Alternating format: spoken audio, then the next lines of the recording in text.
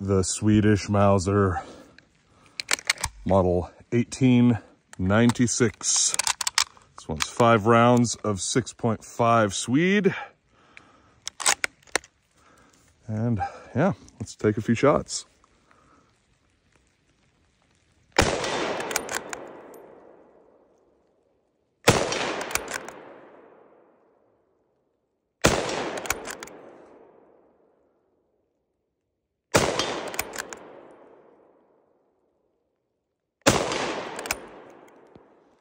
Think we went five for five there.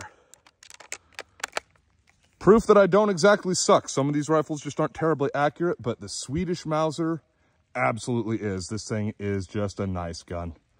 Thanks for watching Great Northwest Weaponry. See you next time.